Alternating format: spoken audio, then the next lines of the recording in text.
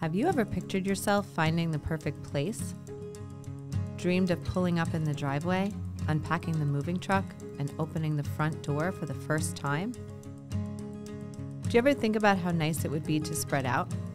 To be able to give everyone their own room?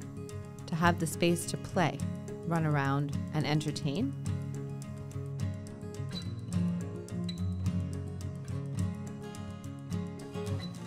Do you ever wish that you could curl up by the fire after a long day? Turns out, the home you thought you could never find has been here all along. 1806 Ditmas Avenue, a unique corner property in the heart of Brooklyn.